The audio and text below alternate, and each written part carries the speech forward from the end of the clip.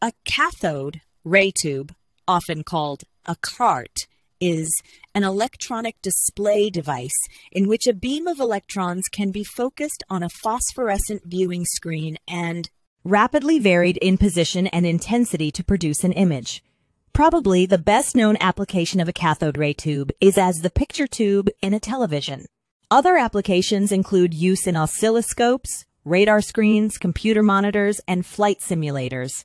The cathode ray tube was developed in 1897 by Ferdinand Braun of Strasbourg in what was then the French-German region of Alsace-Lorraine. It was first used as an oscilloscope to view and measure electrical signals.